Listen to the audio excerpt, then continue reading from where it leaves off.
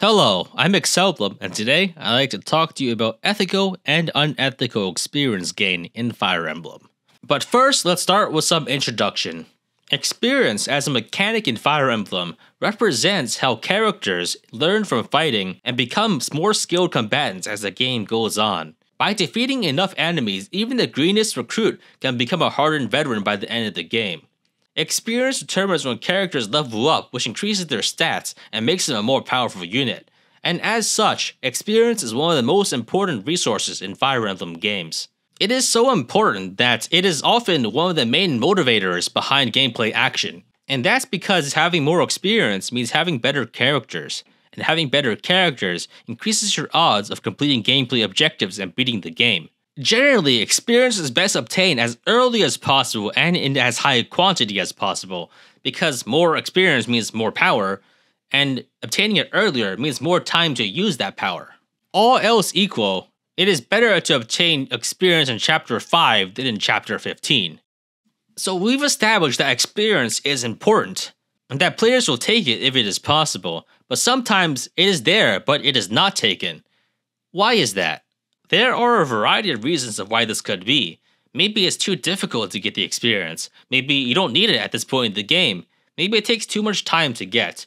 Maybe it's risky to get it, there's a random chance involved. Or maybe there's some kind of weird ethical concern. And now we come to the topic of the day ethical experience and unethical experience.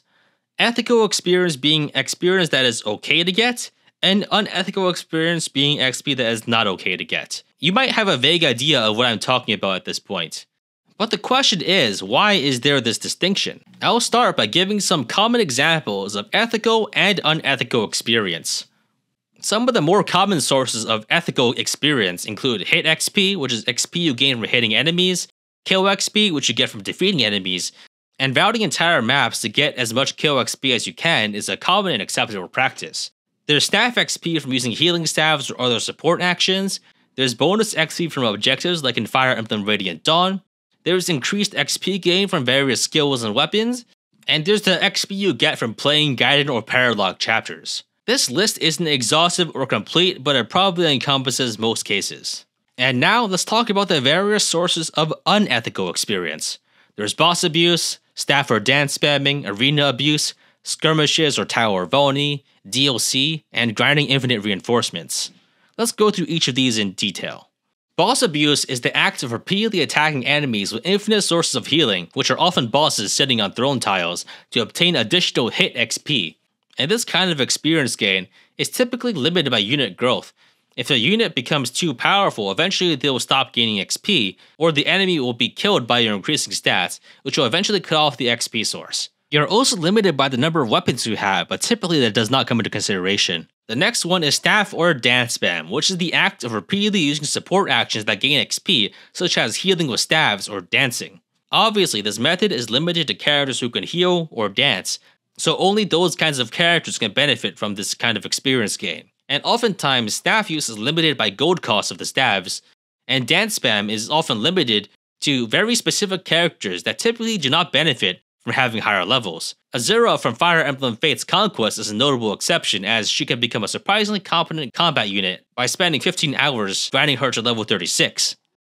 Arena abuse is the act of repeatedly entering arenas to obtain experience and retreating under unfavorable conditions where you might lose.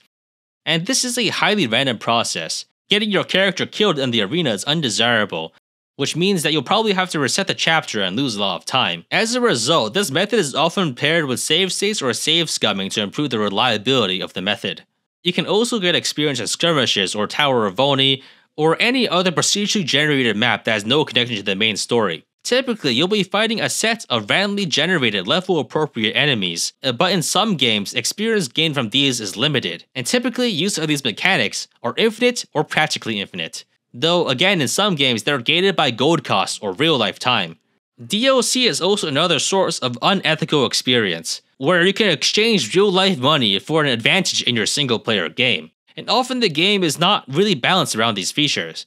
DLC based experience can manifest in the form of items that grant you additional experience, or additional maps with an increased experience gain rate compared to the base game. And there's also infinite reinforcements. Some maps have infinitely spawning or summoned enemies that can be defeated for XP at a normal rate, but others account for this by giving these enemies void curse effects to reduce or nullify the benefits you gain by defeating them. And now we move on to the big ticket question of the day. What differentiates ethical from unethical experience? And as the name suggests, I think that the primary factor that differentiates the two is whether or not it is fair. But what does that mean? What does fairness mean? What does it mean in the context of different games, of different difficulty settings, of different playstyles? And most importantly, why does it matter?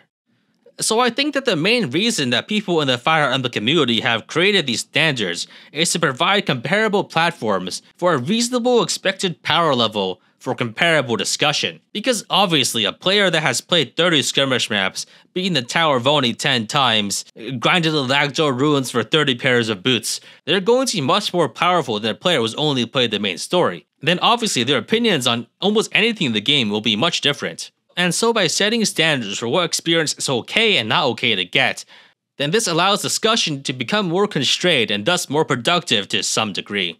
And this all stems from the structure of most Fire Emblem campaigns. Fire Emblem campaign structure generally consists of a mostly linear sequence of campaign chapters with interspersed optional chapters, which are gaiden chapters or paralogue chapters. Later Fire Emblem titles make these optional chapters separate from a linear sequence of campaign chapters, but the structure remains mostly the same. At its core, Fire Emblem is a game designed around having limited resources, and our definition of fairness primarily stems from this game design philosophy. So, ethical experience is typically limited and finite. Most Fire Emblem chapters have a limited number of enemies and thus a limited amount of experience. Most experience is gained by defeating enemies, and since most maps have limited numbers of enemies, then you can only get a finite amount of experience from each map. And paralogue chapters and gaiden chapters are also a fair game because they can only be played once. And this is often critical to maintaining balance in a contiguous campaign, because if you can obtain infinite experience in Chapter 1, then you've destroyed the difficulty curve and there's likely to be little challenge in the rest of the game. On the flip side, unethical experience is often unlimited or exceedingly substantial for when you can get it. And while some of these sources are not strictly speaking actually infinite, because you'll eventually run out of weapon uses or staff uses, or you'll hit the XP cap, but typically the only real limit is how much you want to do them. Ethical experience is typically gained by normal intended gameplay interactions. And most sources of ethical experience are ones you get by playing the game normally or how you're intended to, by defeating enemies, by feeding kills, by using skills that give you more XP, and taking advantage of enemies that grant more XP than normal, like bosses or Gorgon eggs. That's all intended, and that's all fair. On the flip side, unethical experience is typically obtained by unintended or exploitative sources. Hitting an enemy for XP is an intended way of to get XP, but hitting them 2,000 times while they repeatedly heal on a fort is probably not the developer's intention. And some games even actively account for this. Fire Emblem 12 on the higher difficulties, or Fire Emblem Fates, will intentionally reduce the amount of XP that you get from hitting the same enemy over and over until it reaches zero. But then the question is, that makes that experience limited. Does that make it fair? Does that make it ethical? And I think by most definitions, probably no, because most unethical experience is exceedingly tedious to obtain. Most unethical XP sources are often obtained by performing exceedingly repetitive actions. And the reason why most people might consider this unethical is because most Fire Emblem discussion takes place between people who have played the game or want to play the game multiple times. And while grinding 1 million gold in the Fire Emblem 12 arena might be fun the first time you try it, it will be probably extremely painful if you have to do it every time you play. And so it's not something you can reasonably expect people to do. In a similar sense, highly random experience is also probably unethical. For example, those sparkly tiles you see on the ground that grant XP like Fire Emblem Awakening or Fire Emblem Engage, that's probably not fair to consider. Same for experience you get from fighting in the arena. It's theoretically infinite, but it's risky. If you fail, you have to reset the map and then you're wasting a lot of time. It's not really fair to expect people to arena grind or get lucky with tiles on the ground. And experience that's only available to a subset of players is also probably unethical. For example, DLC grinding maps are only available to people who pay money or sail the high seas, and thus using these is unethical, especially if there are no alternative methods in the game of getting that kind of XP. For example, Fire Emblem Fates Conquest explicitly disables skirmishes for balance reasons, but then lets you pay money to do skirmishes.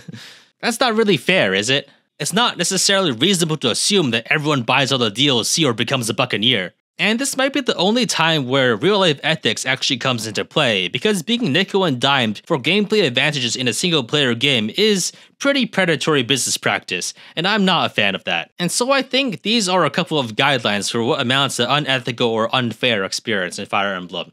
Unethical experience is theoretically infinite or very substantial for when you get it, it can make the game significantly easier than intended. It's often tedious to obtain. It's sometimes highly advantaged or not consistently obtainable across playthroughs, or uses unfair advantages that are not available to everyone. And any combination of these elements can contribute to the feeling that some experience is tainted or unfair. But much like in real life, morality is relative. Different games can have different standards of fairness. For example, Fire Emblem 4, the arena in that game can be ethical because it's limited and you're probably expected to do it if you want a high rank. And in Fire Emblem Shadow Dragon, on hard fight difficulty, boss abuse can be ethical because it's only a slight bit removed from actual normal gameplay. The standard method for defeating the Chapter 1 boss on hard 5 difficulty is by throwing 30 million javelins at him. So what's 30 million more? And in Fire Emblem Awakening, Lunatic and Lunatic Plus, Common Chapter 1 strategies including walking onto the water and abusing the enemy AI to squeeze as much XP out of the enemies as possible in a manner that might be considered degenerate in other games but is standard fare here. And in the same sense, what's fair or not will change depending on the difficulty setting, because the intended experience will be different. For example, Fire Emblem Engage has a limited number of skirmishes in Maddening difficulty, and effectively unlimited number in hard difficulty because the intended experience is different. And in the same sense, when you do a self imposed challenge, such as an Iron Man where you cannot load saves or reset maps, this often results in players resorting to otherwise unethical or unfair XP sources like staff grinding or boss abuse, because they feel like the experience becomes more necessary under these conditions, and thus they rationalize to become more acceptable. And ultimately, because people feel it's fair, then it is fair.